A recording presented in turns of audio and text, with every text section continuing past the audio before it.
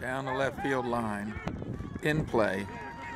He'll race to second and have a double. Marty Costas.